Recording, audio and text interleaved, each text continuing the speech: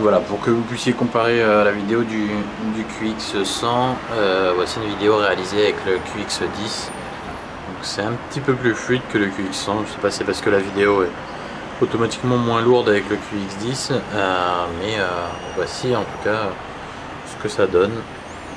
On va regarder si ça fait un peu de changement de... La mise au point se fait assez rapidement. Donc voilà, si vous voulez euh, comparer, si vous voulez d'autres vidéos, euh, n'hésitez pas à le demander et vous retrouverez les liens du test directement sur la vidéo.